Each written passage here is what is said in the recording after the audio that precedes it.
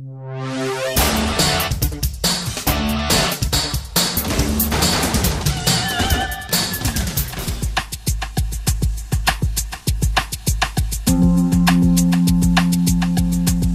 el moment de parlar de futbol, així al plató de la Fira del Llibre de València. I ho fem amb un llibre que ha publicat Drassana i que és, és responsabilitat, ha estat escrit per José Ricardo Marc. 25 historias de Valencia Club de Fútbol que quizá no conozcas. Hola, José, José Ricardo, què tal? Hola. Xavi. Eh, N'hi ha moltes històries que realment, eh, absolutament desconegudes, eh, oblidades en el, en el bagul del temps i que tu has recuperat. Eh. Sí, pensa que des que el València es funda en 1919, però també abans, eh, tenim tota una sèrie d'informacions que no apareixen en la història canònica, en les quals m'he estat topetant quan he fet eh, historiografia del Llevant o del València d'una manera més eh, lineal, com s'ha fet habitualment, i que eren històries que jo volia recuperar d'alguna manera. Resultaven colpidores, eh, novedoses, i a partir de la informació que es pot eh, trobar a la premsa o arxius o fins i tot testimonis personals, eh, vaig al final aconseguir eh, portar-les al que jo volia, que era a, a la imprenta, i donar-les a la llum eh, per a que la gent que senteix el València, però també que li agrada el món de la història, de la cultura, de la societat, la història de València, puga gaudir-les. Eh, com et planteges fer, fer este llibre? Eh, D'on és aquesta idea inicial per a començar a recopilar i investigar? Pues, bàsicament, com et dia abans, a partir de la recerca prèvia en altres obres. Jo eh, fa ja vora 10 anys vaig començar a investigar la història del Llevant amb Felip Benz i José Luis García Nieves eh, vaig ser, ser coautor d'un dels, tres volum, d'un dels quatre volums de la història del Llevant, del segon, eh, i a partir de les històries que jo coneixia de la guerra, que vaig anar descobrint, eh, va entrar en, la meua, en el meu cap la idea de poder fer alguna cosa semblant eh, vinculat al València. El que passa és que, clar, després trobes moltes altres coses i eh, decideixes fer una cosa més miscel·lànica, no? que vaja des del naixement del València fins a l'actualitat.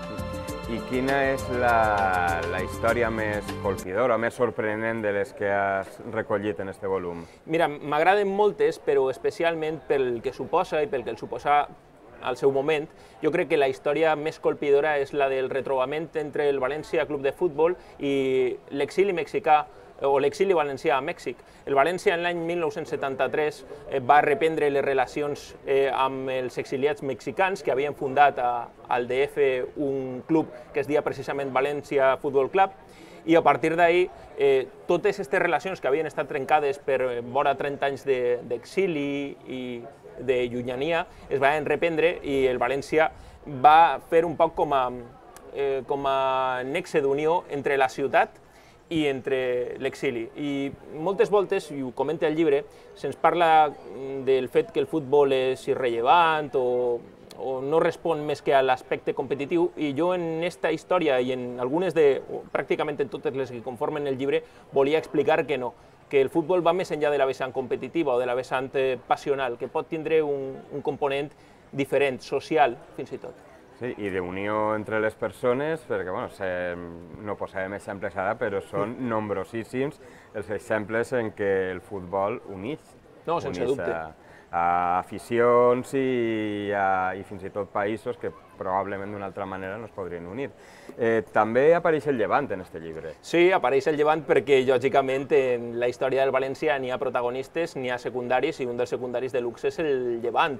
Eh, el Llevant apareix en algunes de les històries, per exemple, n'hi ha una en la que narra com en un partit de màxima rivalitat entre el València i el Llevant, jugat a l'antic camp del Llevant, al camí Fondo, eh, eh, l'estadi es va vindre avall, per l'expectació i la eh, sobreaparició de públic allà. Però es va vindre avall literalment. Es va vindre avall literalment, sí, va ser eh, una cosa que no s'havia comentat o no s'havia publicat en la història del futbol valencià més que en la història del Llevant i jo volia que la gent ho coneguera.